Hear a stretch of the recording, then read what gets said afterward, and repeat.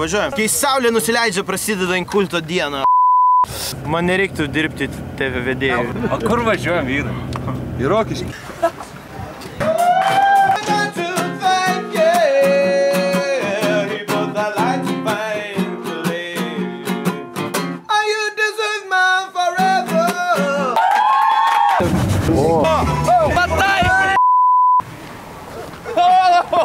Reikia daugiau pozityvo.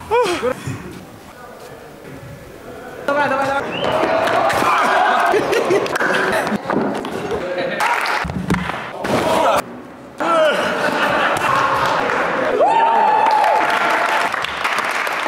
Oh!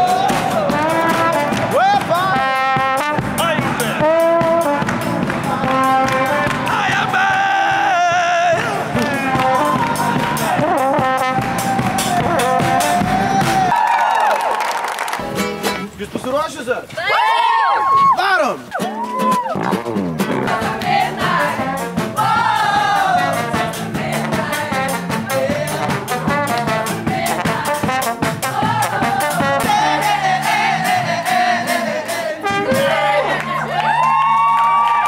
Okay, sucker. Va, atsiemėm robotą iš, iš gamyklos, atgrojom kavinukiai, labai fainai, mus pasikvietė mergaičių kompanija, mokėjo visus tekstus, net mano repo freestyle iš busiko. Užeik,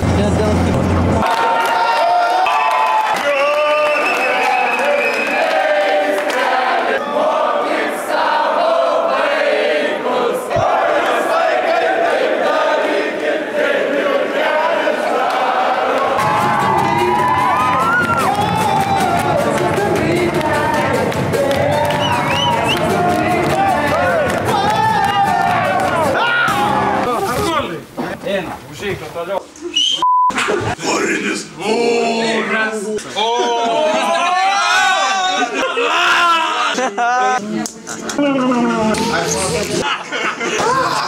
Ką čia irgi darysi?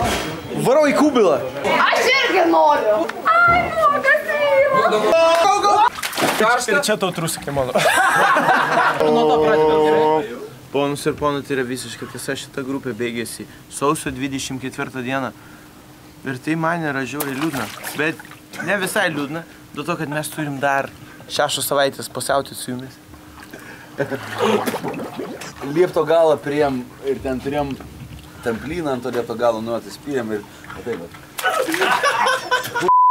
Ate, Hebra, ačiū, kad buvot su mumis šios septynis metus, kuriuos aš nebuvau su jumis.